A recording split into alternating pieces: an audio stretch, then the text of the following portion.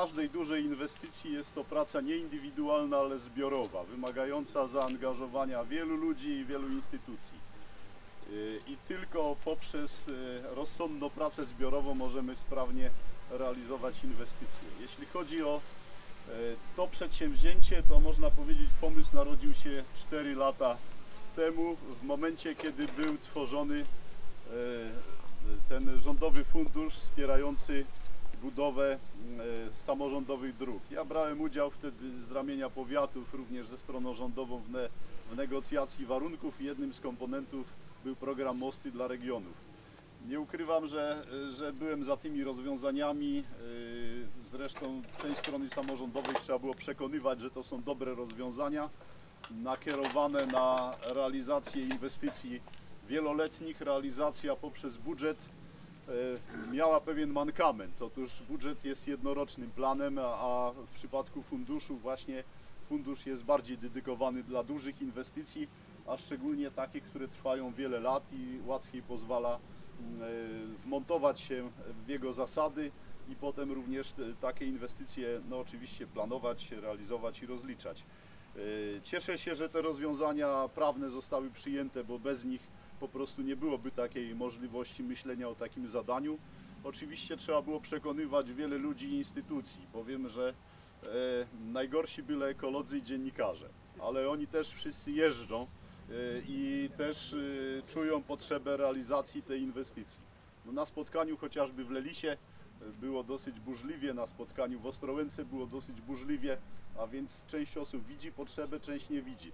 No oczywiście mieliśmy możliwość albo dusić się w obrębie zatłoczonej Ostrołęki, która no niestety ma rozwiązania sprzed 200 lat przyjęte. Te drogi dalej prowadzą do Starego Miasta z jednej i drugiej strony, prowadzą w ten sposób do dwóch mostów, które w czasie bitwy pod Ostrołęką też istniały.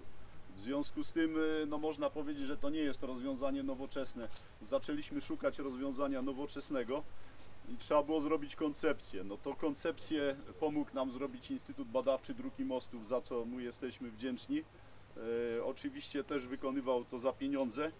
Można powiedzieć, że za nami jest, są takie dwa etapy. Praca koncepcyjna i przyjęcie e, tego zadania do rządowego programu, e, a potem e, dokumentacja techniczna. Bardzo żmudne e, prace, które no, trwają trochę dłużej niż realizacja.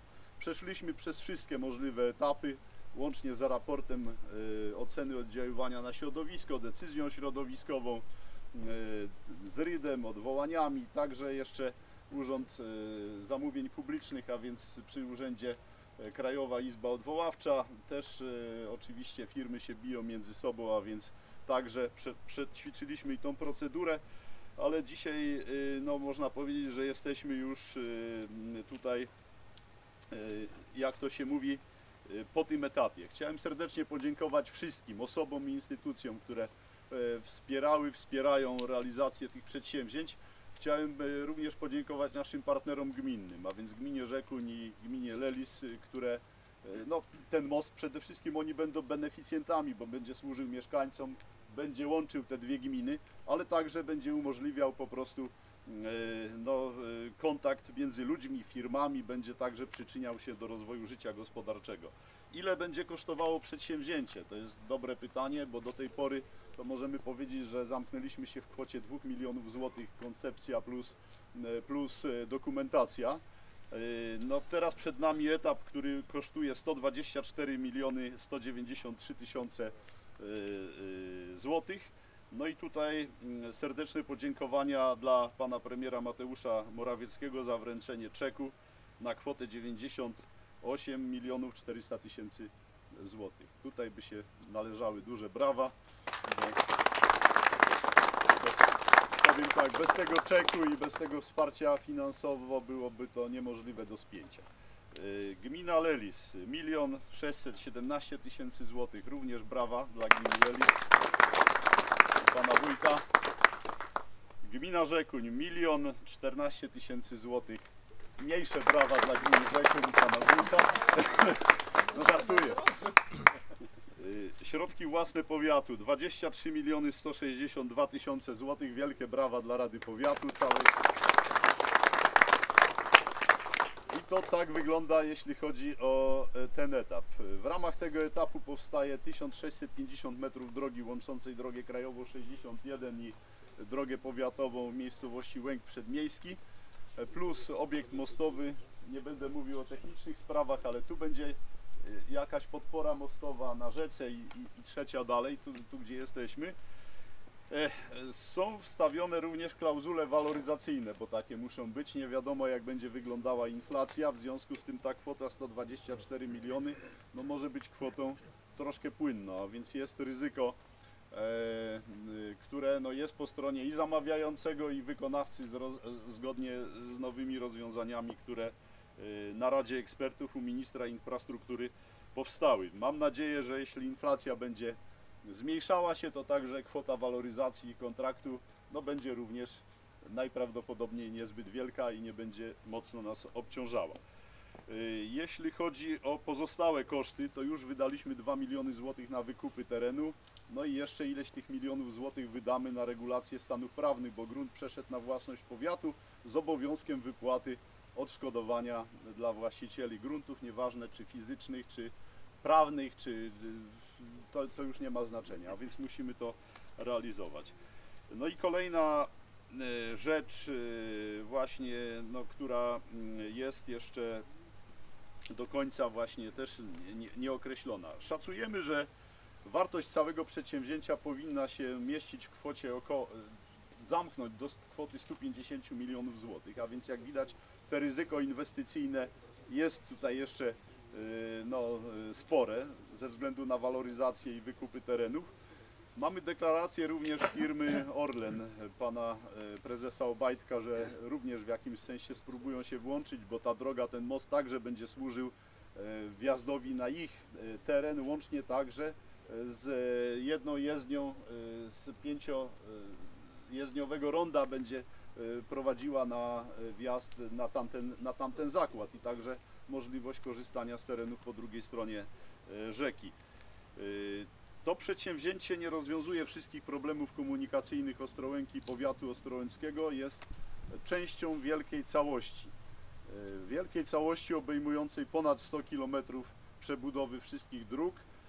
Chciałem podziękować wszystkim, którzy przyjęli na siebie część obowiązków. To jest Generalna Dyrekcja Dróg Krajowych i Autostrad, która będzie realizowała tak zwaną obwodnicę zachodnią Ostrołęki od Szwędrowego Mostu do Dobrołęki około 14 km długości.